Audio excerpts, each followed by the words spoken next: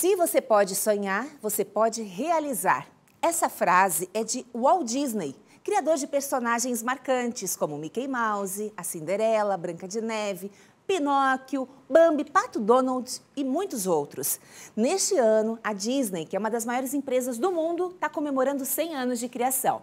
É uma verdadeira fábrica de sonhos e, por isso, hoje é destaque no nosso quadro Você Sabia? Quando a gente fala em cinema, em televisão, em diversão, tem um nome que sempre vem em mente: a Disney. Faz tempo que a Disney deixou de ser apenas uma empresa. Ela está no imaginário popular e não é à toa. São 100 anos, isso mesmo, 100 anos de história. Então, claro, a gente não vai deixar passar em branco esse momento. Nós vamos prestar uma homenagem porque são muitas histórias, muitas produções que marcaram diversas gerações. Hoje você sabia é especial dos 100 anos da Disney.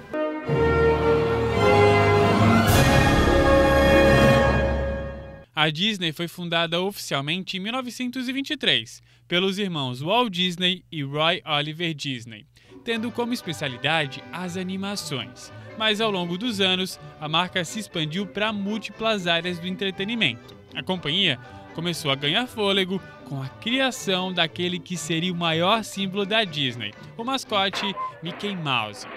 Criado em 1928, ele estrelou o curta Plane Crazy antes de protagonizar Steamboat Willie, o primeiro desenho animado sonorizado da empresa, e que foi um sucesso absoluto. Já já a gente detalha essa história.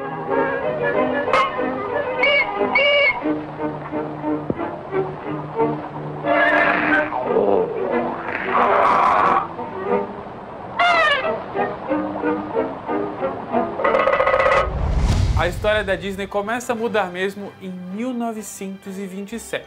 Foi nesse ano que o Walt Disney fez um contrato de distribuição com uma empresa distribuidora, claro, de cinema lá nos Estados Unidos, a Winkler. As animações que eram feitas pelo Walt Disney e pela equipe dele, que girava em torno de 20 pessoas, eram exibidas antes de grandes filmes nas telonas. O primeiro personagem a ser criado não foi o Mickey, por incrível que pareça foi o Oswald, um coelho. Só que essas produções começaram a custar muito caro e o Walt Disney foi atrás dos recursos dele para poder mudar esse contrato. Foi aí que tudo começou a dar errado.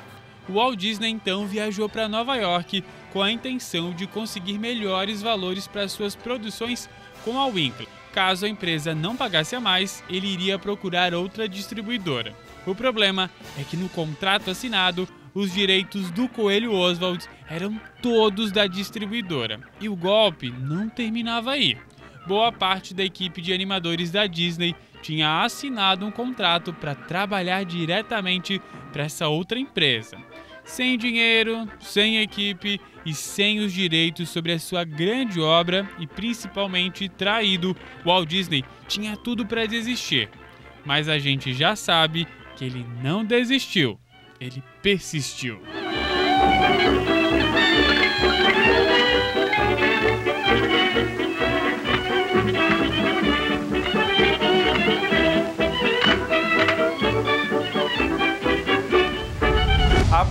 Do fracasso veio a glória da Disney, porque o Walt Disney, a partir disso, teve a ideia, claro, de criar um novo personagem que seria a cara da sua empresa, seria a cara da sua marca porque lá naquela época, lá na década de 1920, os desenhos que eram produzidos eram um pouco mais rudimentares, mais violentos. E ele queria algo que fosse mais leve, mais familiar, que servisse para todos os integrantes da família. Então ele logo pensou no Mickey Mouse, que no começo tinha outro nome, Mortimer Mouse, e ele criou todo esse conceito por trás desse ratinho. Depois, então, foi consolidada a imagem dele, que foi se alterando ao longo do tempo, e também o nome. Quem criou o nome de Mickey Mouse foi a esposa do Walt Disney.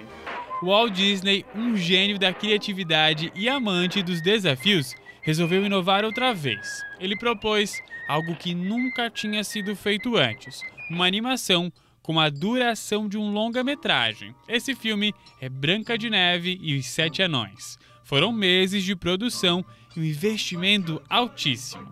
a Walt Disney Studios gastou cerca de um milhão e meio de dólares, algo extremamente alto para a época. O filme estreou no dia 10 de janeiro de 1938 e arrecadou 8 milhões de dólares. A produção não só ganhou um Oscar, mas também um prêmio exclusivo, criado para ele, que consistia na estatueta convencional, acompanhada de outras sete menores que representavam, claro, os sete anões. Até hoje, Walt Disney é o artista que mais conquistou prêmios da famosa Academia de Hollywood.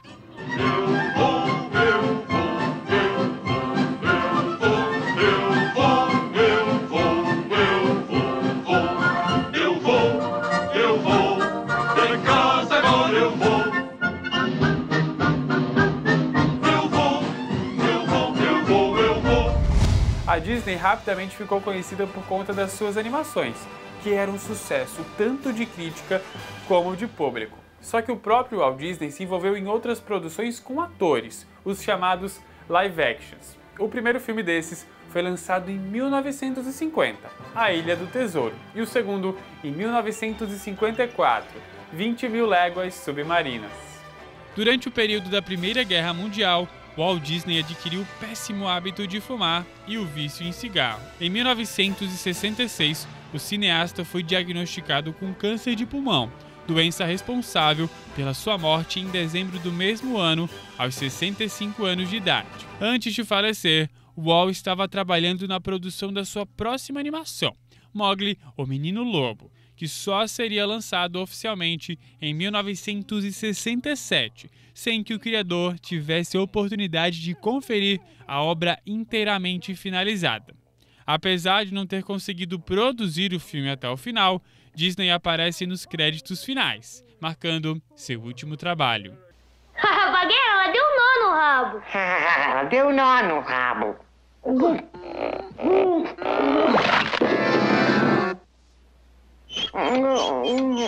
Isso vai atrapalhar o meu deslizamento.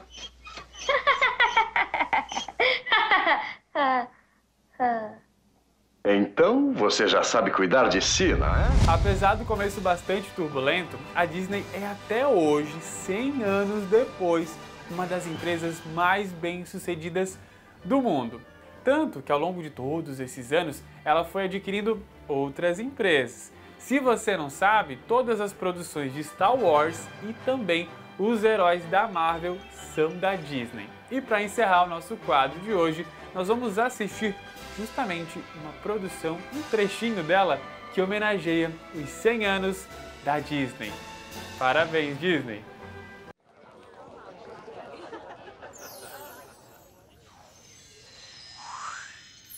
Tá aí? Acabou? Puxa vida! Venha, Minnie! É agora! Vamos chamar a turma!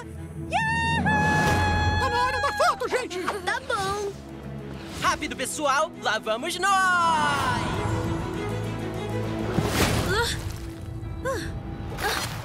Água! 100 anos de histórias. Melhor rosa. E o melhor azul. 100 anos de magia. Oh, ora esse, eu fiquei preso. Você acha que todos os vilões vão aparecer? Nem todos. Celebre os 100 anos da Disney com o novo curta original Era Uma Vez um Estúdio. Pateta, cuidado! Ah! Bom demais começar o programa com esse quadro, né? Aquele momento nostalgia que quem é criança gosta, os adultos vem à memória aqueles personagens que fizeram história, Mickey, Pato Donald, seja nos filmes, nos desenhos, nos gibis, né? Quanta gente foi influenciada, aprendeu a gostar da leitura por causa desses personagens e a gente pôde conhecer um pouquinho mais da história, do gênio Walt Disney, né? Ele deixou muitas frases que a gente vê por aí, nem sabe que é o do Walt Disney, mas por trás ele soube se refazer a partir né, de uma, uma falência, digamos, de uma traição da equipe dele. Ele não se abateu e seguiu em frente.